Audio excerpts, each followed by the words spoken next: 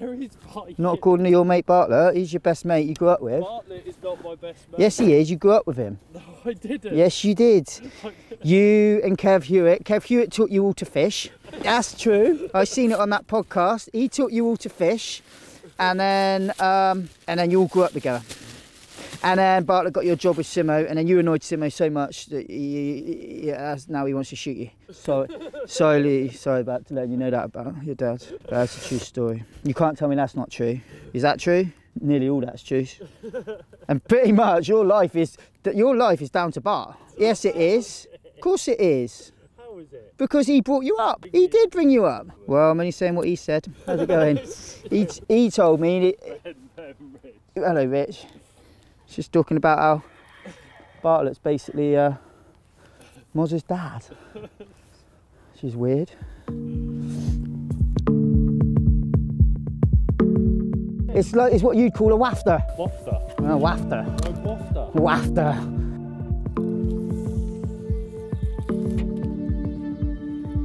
First rod's just gone out, about to put the second rod out. Got two options on uh, today because I've not been here before, so don't know the venue at all, anything about it, nothing. So the first thing I'm going to do is stay mobile. I've got two rods, float fishing them both, and I'm basically going to float ledger them back in, but off the bottom, it's really clear water from what I can tell, shallow margins. Gonna give them a good dose of the clear DNA Apex spray, okay, first of all, because it's so clear here visually that I don't think I need to put the red um, or the yellow one. So first of all, I'm gonna go au naturel.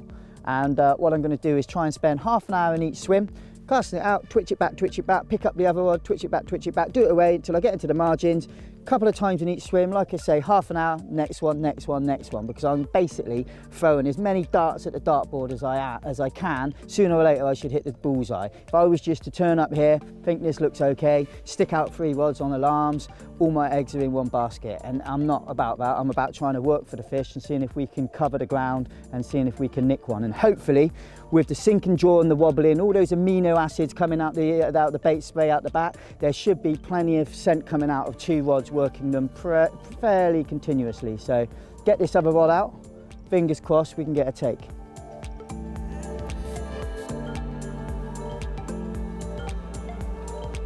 Got you then, that would have been brilliant. Oh, the camera gone in the lot.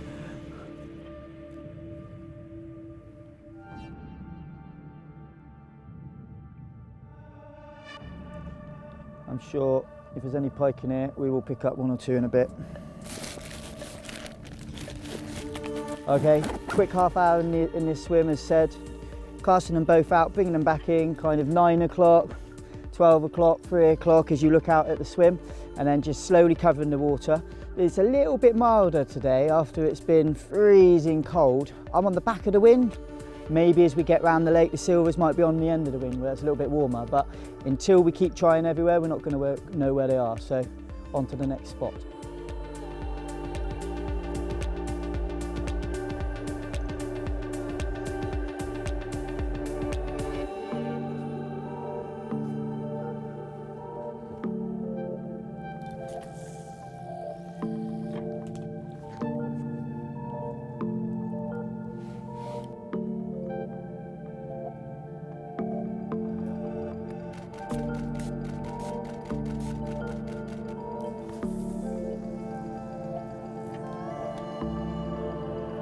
So we've just come down to the, uh, we've been off the back of the wind where it was totally flat. So the only movement I could put into the uh, floats was actually me putting movement into the floats. So worked our way around a few swims, haven't seen any sign of life yet. And now we've got down to the side where there's a bit of um, side wind coming in. So what I can do now is put the boats out, get, a, get a bow in the braid, and then just slowly let the bait slowly move through the swims. And obviously I've sprayed them up. I've actually put a bit of red on one of them now to make it a little bit more visual on a smelt. And then I've got a natural bait out there which has got the clear on it. And uh, yeah, we'll just see what happens. Let them slowly drift through the swim and then I'll put them through and then I'll work them through the swim a little bit more erratic and then on to the next swim.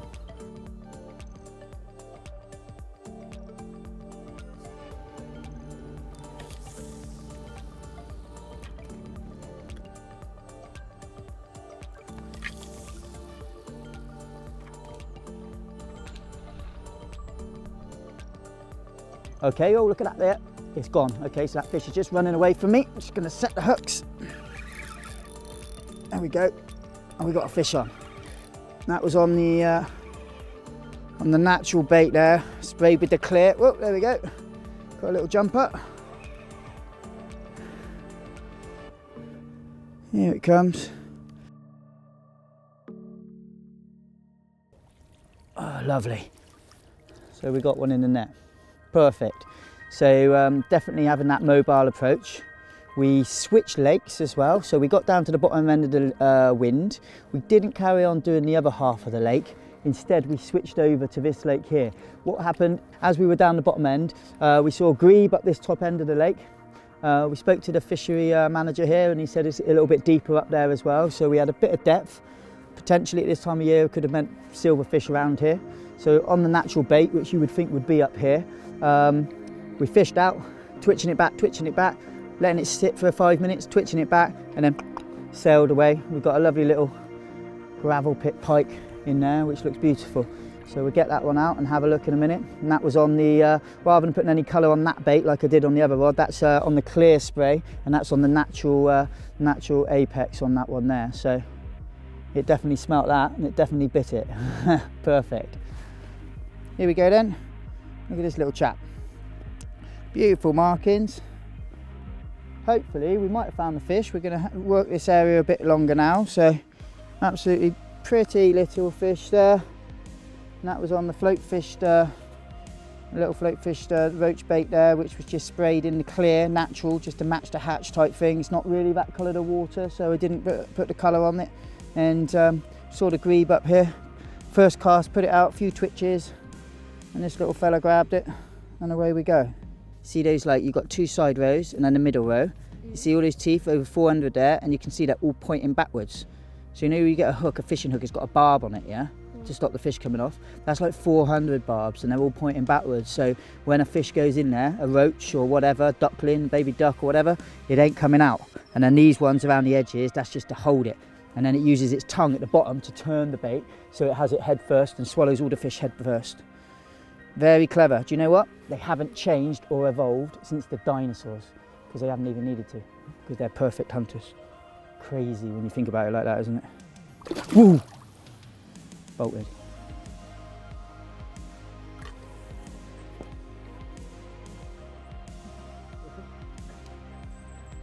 Oh, what's it got on there?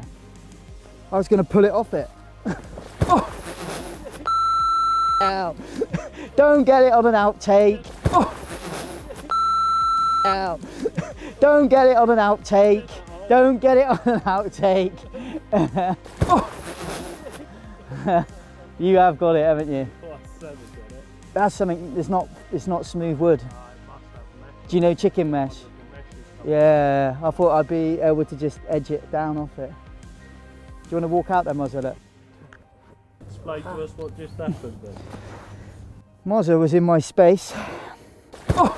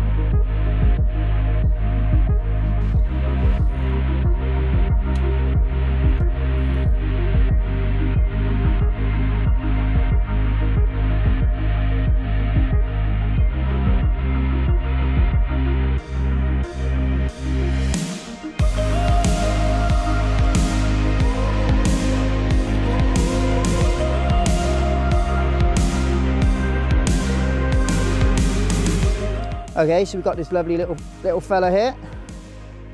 And that was on oh the roach roach dead bait. and that was just cast over to the area by the cage there where we saw a few fish crashing. So um, I'm going to chin this fish now, which I don't recommend until you get experienced and going with somebody who is experienced because they can show you exactly how to do it. So until you go with someone like that, um, it's best to no, go with someone who's experienced and can show you exactly how to do it. That's a little fellow and probably the one which was feeding on the fry over there. Covered in leeches on the bottom. All over its belly, all on its fins, it's got lots of leeches. So that just goes to show, putting that bait over there, it had the clear spray on it and it still lifted it up off the bottom. So obviously smelt that, came up and grabbed the roach. Seeing a little bit of action, using a little bit of watercraft and giving yourself a little bit of an edge has paid off. And I think that's what fishing is about giving yourself an edge and giving yourself a few percentages and that percentage is looking for the bird diving on the bait fish looking for a fish which is chasing the bait fish in the corner getting told by by the, the, the chap who runs the place it's a bit deeper over here um, and then putting the amino bait spray on the bait to give your bait a bit of an edge as well so when you add up all the little percentages those percentages give you a little bit more of an edge than the next angler and then hopefully you catch a few more fish like this one so I'm going to get this little one back now the water's very, very cold. Oh, pretty sure it's not going to hang about in that nice cold water. There you go. Whoa, and it's turned around the wrong way. Here we go. Come on, baby. Come on, come on. Definitely lively. Back she goes. Perfect. Now we're going to head down to another part, another lake they've got on the complex here, where it's meant to be a bit deeper and um, it's meant to be a bit of a pikey area. So we're going to go and have a look at that place now.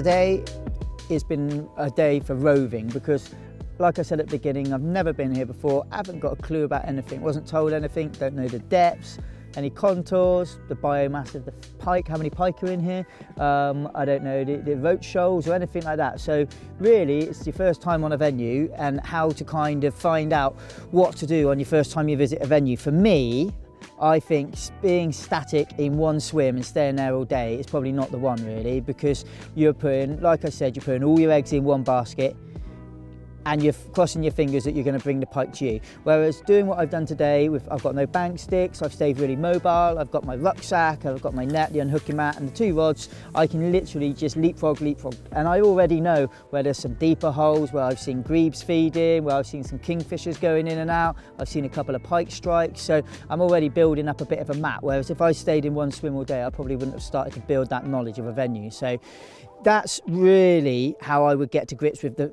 a new venue to start with. And the type of rig I would use on that new venue would be a roving rig.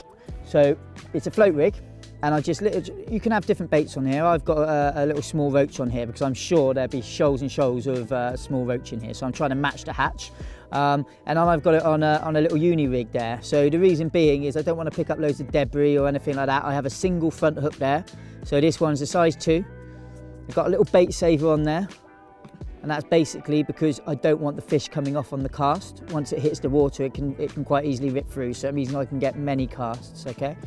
And then in the back, I put the treble into the back there. But if you can see, when it's under tension, that fish has got a bend in it. That's really important. If I don't put a bend in it, it will just kite in the water straight when I pull the float back.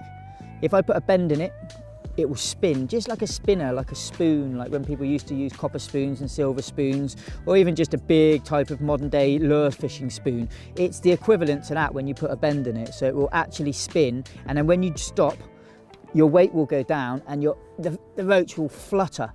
And if you do cover pike or you've got a following pike, and it sees something silver spin past it. And then when it's dropping on that flutter, they absolutely love that and they'll nail it while it's fluttering through because they know it's going down in a straight line and it's easy for them to just intercept it. And it looks like a wounded dying fish ultimately. And when they look at it, you can't really get a lure which would look any more lifelike than a dead fish. So that's the whole kind of reasoning for it. So that's the rig side of it there and the bait side of it. You can do many things with the, with the bait sprays, which, which I use. So this one's got the clear on it. You can use the red, you can use the orange. Now, that's a bit like if you're carp fishing and you're using different coloured pop-ups. There's certain times and certain days when different colours will make a difference. If you look at salmon anglers, for example, they quite often get the prawns and they, they spray them red. So it, it, they've done that for a reason because it, it's a visual attraction red is is a, is a bit of a kind of strike color for predators as well. So you know having that little bit of red on the front spraying the front end of the fish red maybe so like the traditional red head lures you get that type of thing it can all give you an edge on the day. And it's just about working your lure or your, your dead bait and what color spray would work best on each day. If we move up the trace I've got it on a quick link there so I can very easily just undo it and put it back on again. So if I do get a fish, I can literally just in the net, unhook this, put the rod to the side and I'm not having to carry a net and a rod up the bank and everything like this. I can leave the rod where it is and just unhook it. I come to the weight and above the weight I've got something which you may not have seen before okay and that's called an up trace because I'm doing lots and lots of casting today and I'm casting into a headwind and even when you're not, if you don't feather the bait down, it can go over the top of your braided main line or mono and it can wrap round and it can catch like this on top. And then obviously it's going to sit there and it's going to float. And if you get a pike take, it'll take the lot. It can't discriminate between line and a lead and it doesn't know what's a safe rig and what is not a safe rig. So it's up to you to make it a safe rig. So if above the weight you have the up trace. If it goes up there, it doesn't matter where that pike bites, it's always going to be a safe rig. Okay, and that's really, really important. And one of the most important things about an up trace is to make sure it's actually longer than your trace because otherwise it defeats the object because this can still go and catch around your main line. Okay, so that's using an up trace. So that makes it a super, super safe rig. These are the Fox drop-off uh, weights here as well. So it's got a slot down the side so you can easily put them on. The rubber's pushing over that swivel there. And if this did get, the worst happened and it broke, then this can actually come away off here. And then actually it can also rubber come off and it can come out of that slot there as well. So it means that it, the fish can potentially lose that weight as well. So that makes a safe rig. And then when we go further up the line uh, or up the up trace, that's when we've got our float we got the uh, bead and then we got the float stop. And then that goes to I mean really strong braid. This is 55 pound um, and and my other rod there which I use on the rivers a bit more that's got 80 pound braid on. So really powerful braid which if you're kind of new to this style of fishing and you do a lot of carp fishing you might use 15 pound line 12 pound line that type of thing. You might think wow I mean is he shark fishing? Why is he using such powerful braid and it's not because I'm trying to catch a 50 pound pike, it would be a British record. It's not about that at all. It's about fishing really, really safe. So it's making sure that with such, such strong tackle, you can straighten your hooks back and you can pull them back if they get snagged up. Um, and, and it's about that. It's about making sure your tackle is absolutely bulletproof. And that's what the strong braid and the up trace does. It keeps it all nice and safe.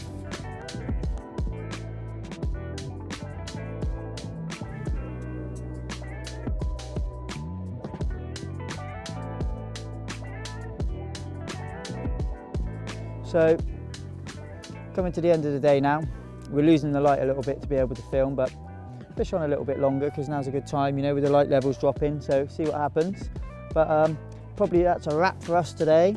We've had a couple of fish, talked about the, uh, the, the, different uses of the spray, um, how and when I'd used them, about the roving tactic as well and, uh, and moving about and at this time of year everybody likes to move around and keep warm as well we did come into this bay because again we saw a grebe working and um, there's lots of reeds which the small fish like to get into and um, I did get a pickup and, and there's a lost fish there which I don't know if you can see but it's all bitten up and but that's just fishing. You can't hook them all you can't get them all in so it's part of the chase. But um, yeah I hope you can see that using the mobile tactics, coming to a venue you've never even seen before and uh, gaining those little percentages, everything from the mobility, the bait choice, um, the additives to the bait. If you add it all together, you're just a percent here, a percent there, a percent there, and hopefully that just edges you towards catching a few more fish next time you're on the bank.